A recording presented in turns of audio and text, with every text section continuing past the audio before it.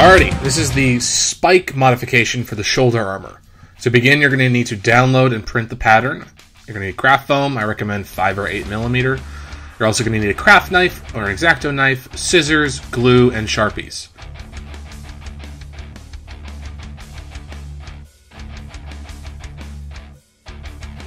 Alright, we're going to take the paper and cut out the pattern.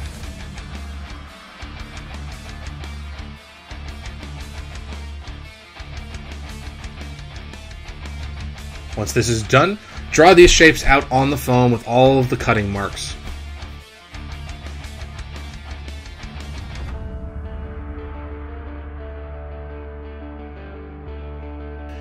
And now we can cut these pieces out of the foam. Make sure you cut inwards where indicated and outwards also where indicated.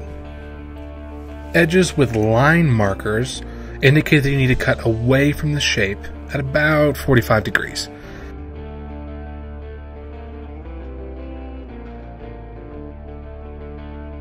This creates an extended face. Edges with dotted guides indicate that you need to cut into the shape at about 45 degrees.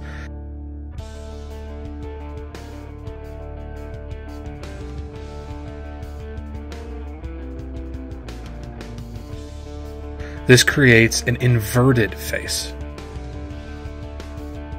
Once the pieces are cut out, apply glue on the longer inward faces of each piece like so.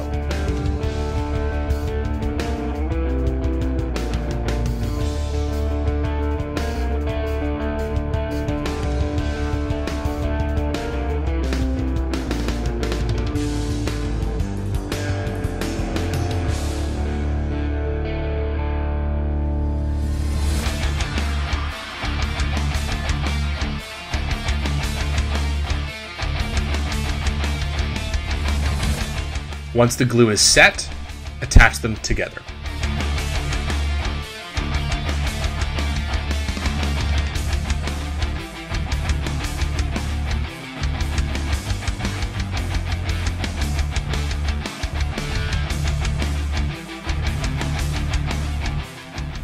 Alright, next we're going to glue the spike to the base shoulder armor piece. You can see here how the spike edges coordinate with piece F and A on the shoulder armor pattern. Try holding the spike to the shoulder so you can get a feel of what I'm talking about and where you need to glue. Go ahead and mark these areas as well to help you.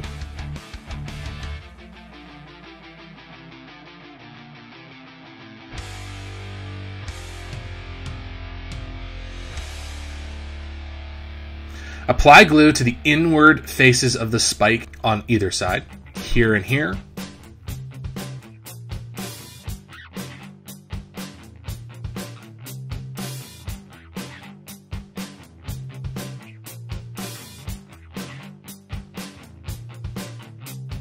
Now apply glue along the F and A seam on the shoulder armor where you marked off.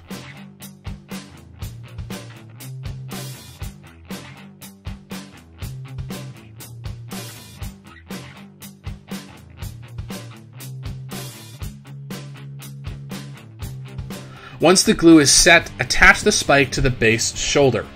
Take your time and make sure that the edges match.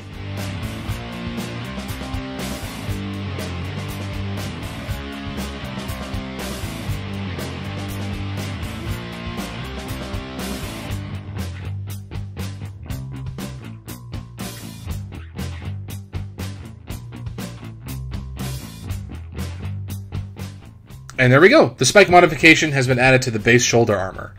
Hope you enjoy. Hope you enjoy the template as well as the tutorial. See you next time. Please like this video and subscribe to the channel for more cosplay content.